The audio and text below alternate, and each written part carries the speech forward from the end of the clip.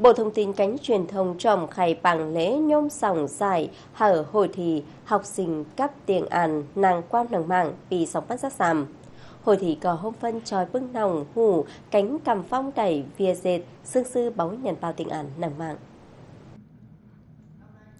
Tế cài chết hỏi văn thí sinh khổng phương trước trung học cơ sở cuồng cá mương, hỏi thí sinh buồn giòn có đầy nhóm sòng dài, cuồng nằn mít giảm dài nhất, bé dài sòng bồng các bước dài giảm dài nhỏ nho, giảm dài nhất, đầy ma tế trường trung học cơ sở Cảnh Dương, cánh Quảng Hợp, tỉnh Quảng Bình, cánh trước trung học cơ sở xã Vạn Linh, tỉnh Lạng Sơn chú thì nì nòng cò mi lại lông thổng hủ vài bảy trừ lắm mò chầu tóc bức hủ hiểm hài nàng mạng.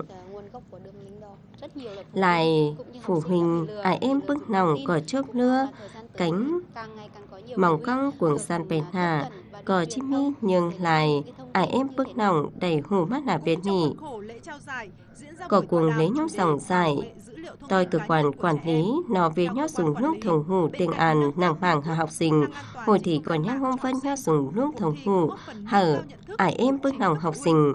Vừa lại ai em bước lòng học sinh. Có báo hủ bước nà vía hài hước mi nàng màng xã hội. Sử dương ải em có tó hanh hà bưng làn bứng le bưng hún ảnh nàng màng.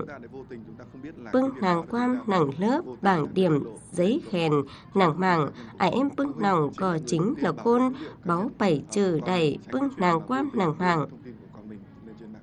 Việt Nam mít cài hốc xếp hốc phân hỏi là nòi dù mạng Internet, lại nòng có dù nâng hoa sàm trước đông hôm hỏi mở. Vừa sức nằn vương hồi thì hư chú hươn, cánh hươn trương, có mít trách nhiệm tặng tánh hôm phân tủm bua, hanh cảm tó hà là nòi nàng mạng.